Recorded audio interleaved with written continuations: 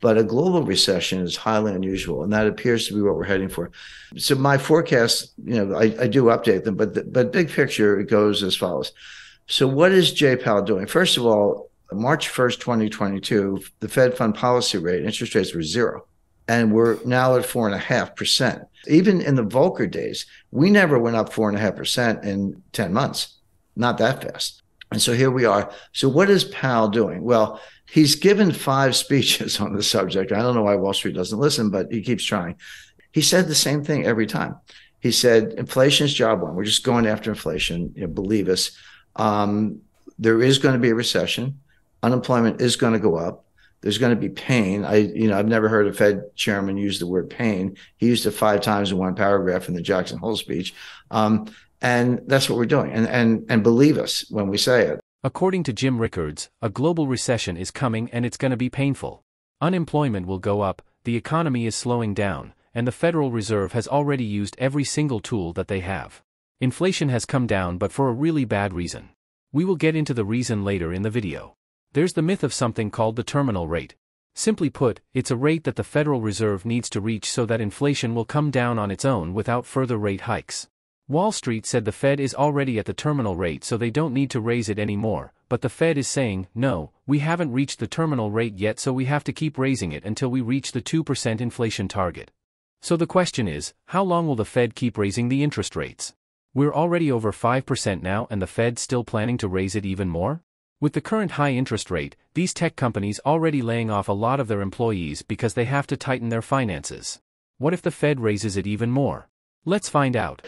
Now, how long will he raise rates? How quickly? And, and what's he trying to do? Powell is trying to get to something that he calls the terminal rate. But the definition of the terminal rate is it's a rate that's high enough to cause inflation to come down on its own without further hikes. So uh, we'll get to a level, and then inflation is coming down. By the way, and uh, in the last five months, it's gone from in the U.S. it's gone from about nine percent to 8.7, 8.2, 7.4, 7.1. So it is coming down. Having said that, the target is 2%, and 7.1 is still a far cry from 2. So he's, he's not there, but he's making progress. So here's the, I hate to use the word conundrum, but it kind of is.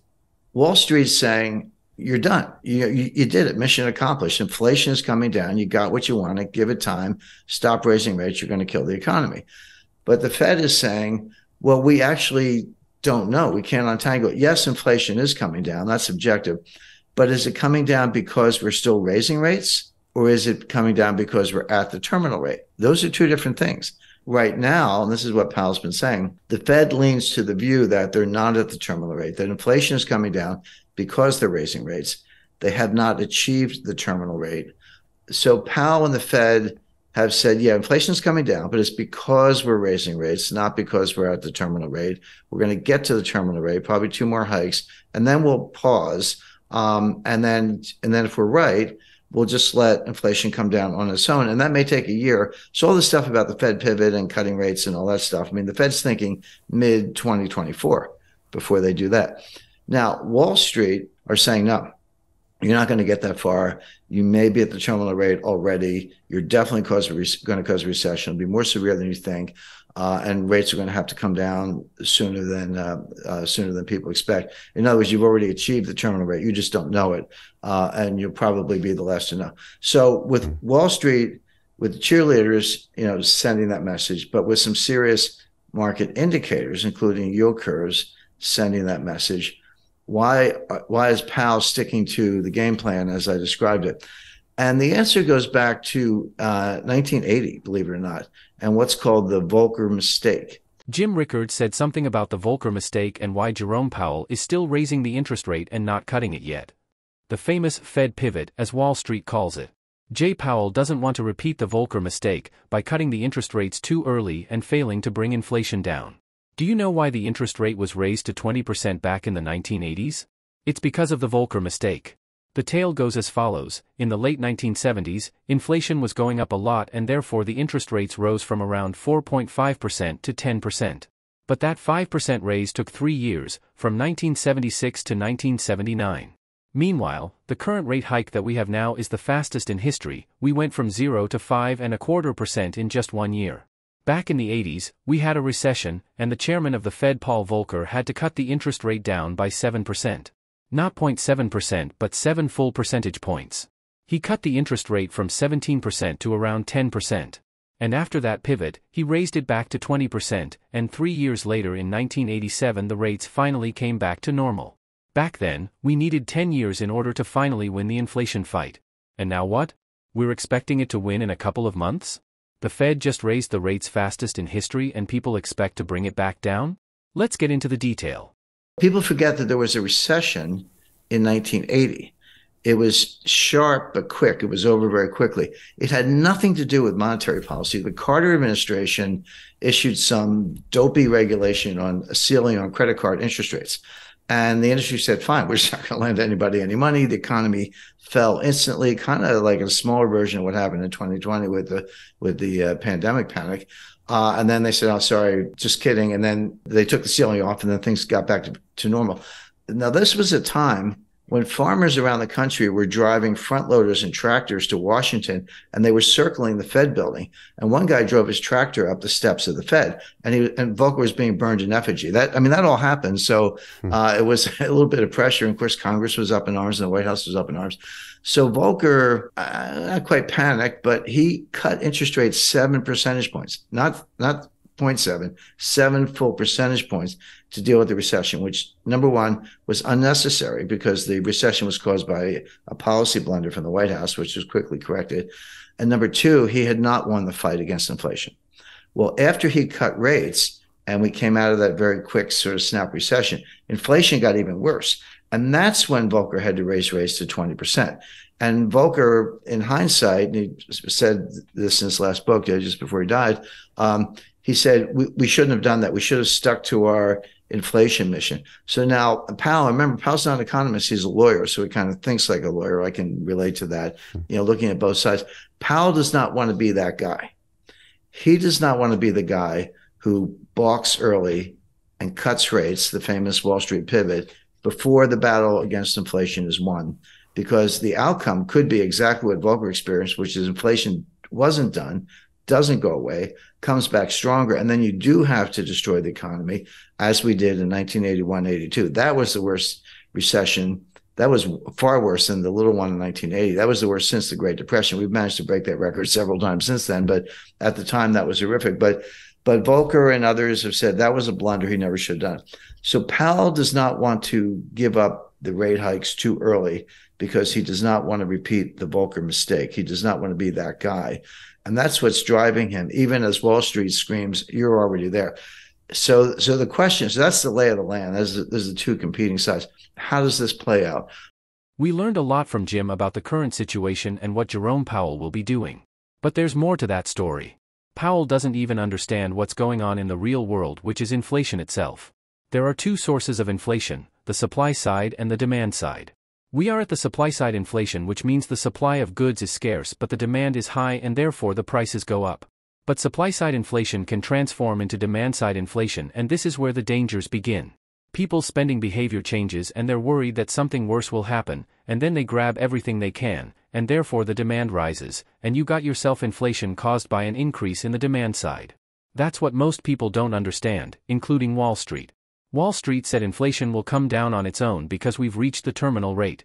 But Jerome Powell thinks we are not done yet and therefore he will raise rates even more. And what does Jim Rickards think? Does he think Powell is at the terminal rate yet? In my view, Powell probably is there. He probably is at something like a terminal rate. He probably doesn't have to raise interest rates anymore. He doesn't believe that himself. His models tell him otherwise because they're relying on the Phillips curve, which is junk science. I mean, the last time I looked at a Phillips curve, it was flat. At least where I went to school, curve was curved. This this thing is flat. There is no correlation between unemployment and inflation. There just isn't. But the Fed thinks there is. So I always tell people, don't. Um, if you want to forecast Fed policy and understand the Fed, don't think like a rational person. You have to think like the Fed because you have to get inside their heads or else you're going to get it wrong. So they're looking at unemployment, which is the lowest, the unemployment rate is the lowest since 1969.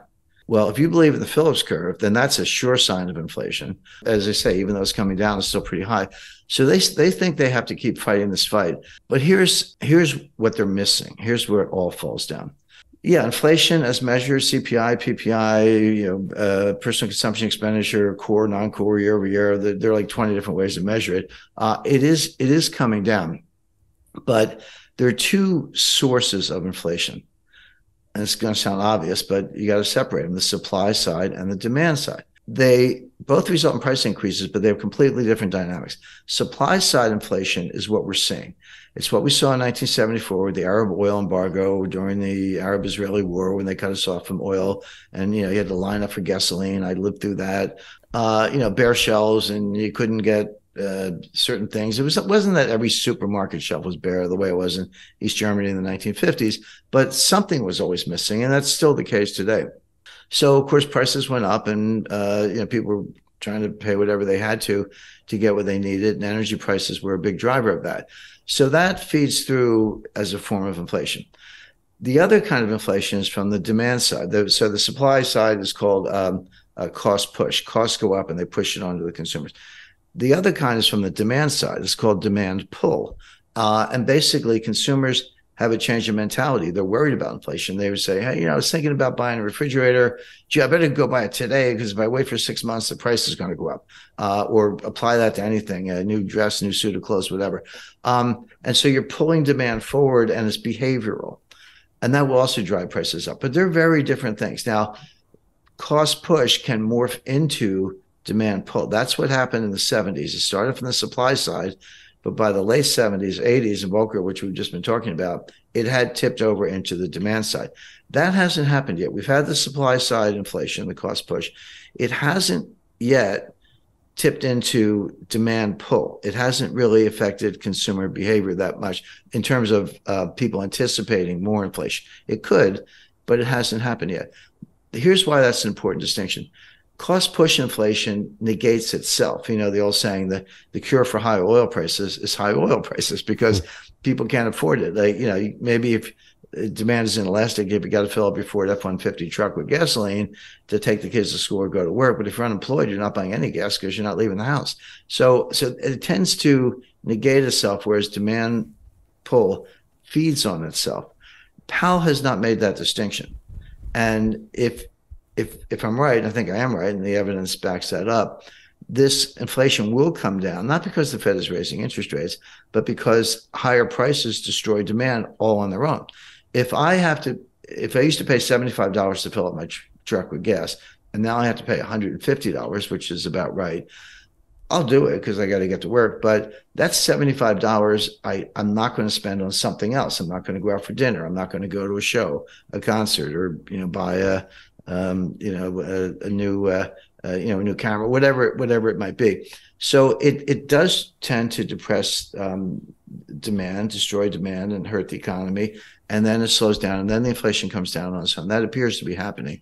But Powell hasn't really made the distinction. He's still he's fighting the last war. I hate to use a cliche, but he's fighting the Volcker War.